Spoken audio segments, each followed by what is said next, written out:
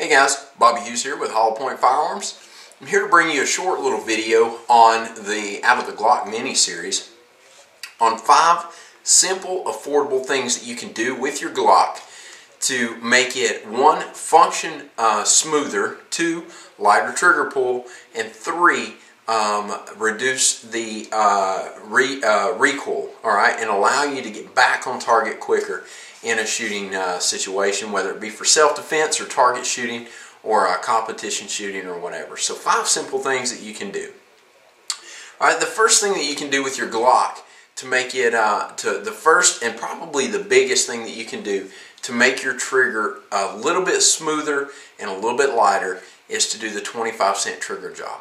All right, it, it's very simple to do.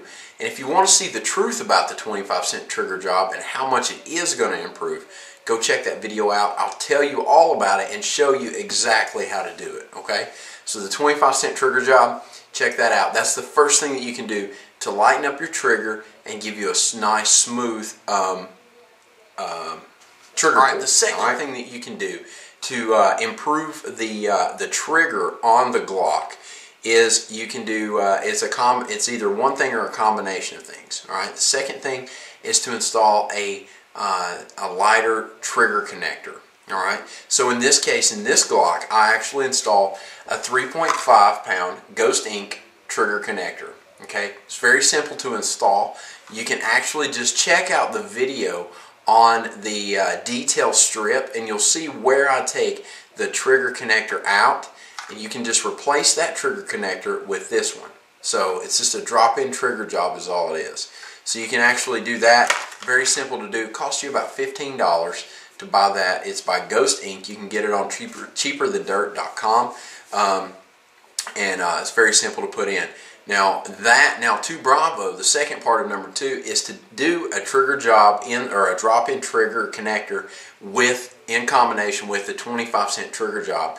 And uh, so you're com combining number two and number one to get two Bravo, which is going to uh, or it's going to reduce the trigger pull, all right, the trigger pull weight, and it's also going to make everything function a lot smoother. What it does, it gets a lot of those factory burrs off of the uh, the parts, and it makes everything run a lot smoother. All right. The third thing that you can do to your Glock to uh, to help out on uh, the, uh, the, the, the transition um, and, and reacquiring your targets is to uh, replace your, uh, your guide rod and spring assembly. Okay, um, the one that comes factory with Glock is actually plastic. The guide rod is plastic. The spring uh, is not plastic, obviously, it's a spring, but the guide rod is plastic. And what that does is it puts it, it lightens the front of the gun up so that when you shoot, it's actually really um, it, it, it, pushes the front of the gun up. The recoil pushes the front of the gun up, so it takes more um, more uh, strength to hold it on target, and it takes longer to reacquire your target. So I would uh, recommend uh, for number three, just go in and uh, go to brownells.com and order you a, um, a stainless steel guide rod with spring. And what that's going to do is it's going to add a little bit of weight to the front of the gun all right, and so it's going to be easier to reacquire the target or to stay on target. So that is the number three thing to do uh, to uh, increase the, uh, the, the functionality, the overall uh, uh, overall quality of your Glock. All right, guys. So the fourth thing that you can do to uh, increase the the quality of your Glock or the function ability or functionality of your Glock is you can polish your your feed ramp. Alright, your feed ramp is where your bullets actually slide as they go into the chamber of the gun. Okay, so a nice, smooth, polished feed ramp is uh, it's very easy to do. It takes no time to do it. So a very nice, smooth, polished feed ramp will help the rounds feed from your magazine into your chamber a lot smoother. All right, so that's the fourth thing that you can do um, to increase increase the quality and the functionality of your Glock. Alright, the fifth and final thing that you can do to increase the functionality of your Glock is, um, is two things. Alright, one is proper lubrication. Uh, if you guys have seen any of my videos on, on disassembly and reassembly of guns, um, you'll see that lubrication is way overused in firearms. but you still need lubrication. Too much lube, you're going to degrade your gun. Um, it eats away at the, the, the finish on the gun, uh, as well as plastic parts, it softens them up. So too much lube is not a good thing, um, but just enough lube is the, the proper thing. Um, one thing I recommend is keep the inside of your chamber nice and clean and put a thin layer of lube in there or use some bore polish. Bore polish works great to keep it nice and shiny inside there, keeps it slick, right? And you can also use that bore polish to, uh, to polish your feed ramp as well. So that is important for uh, lubrication there. Uh, the other thing that you want to keep lubed, obviously, is your uh, trigger spring back here, and uh, and and that's that in combination with your slide ears, uh, your little paw, your slide paws here. Keep a little bit of lubrication on those. It just helps everything function a lot smoother.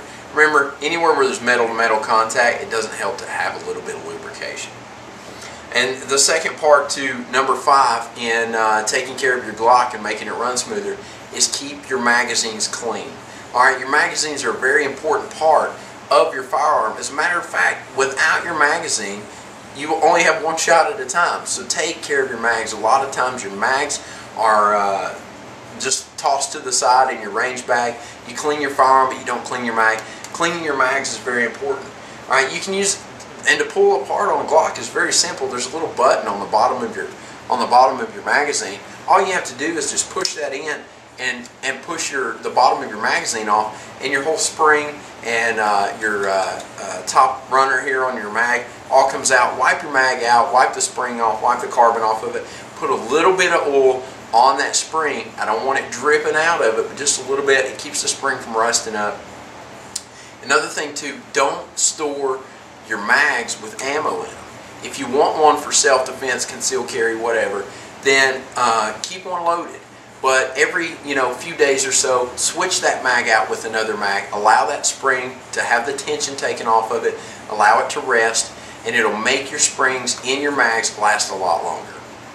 Alright guys, so that's five steps on how to make your Glock a lot more uh, smoother running, lighter trigger pull, um, more uh, more reliable, and uh, just overall, just the function functionability of it. I'll just about drop that. It just makes it run a lot smoother, and uh, it's going to make your your Glock last a lot longer. Guns are not cheap, so take care of your guns. Take care of your firearms. All right, and uh, that's pretty much it on on my five simple things, affordable things that you can do to really improve your Glock. So uh, check out my other videos in the Glock mini series. I've got one on the detail strip of the Glock. It's going to take this thing completely down to nothing and reassemble it. I've got one on the 25 cent trigger job, the truth about that, and uh, this video, and then also how to change out your factory sights with uh, aftermarket sights without having a sight tool or a press. You can do it at home with a few simple tools and I'll show you how in that video. So check those out and until next time guys, uh, if you have any questions or comments about Glocks, go ahead and leave them in the comments below. If you'd like to see a specific video or you have any questions, like I said, leave them in the comments below. Rate the videos. Please rate the videos. It helps out a lot. Uh, it helps keep me motivated to make more videos. And don't forget to subscribe. I love all of my subscribers. You guys rock. And uh, you keep me making videos. So uh, Anyway, guys, until next time, get out there, shoot some guns, be safe, and most importantly, have fun. See you guys later.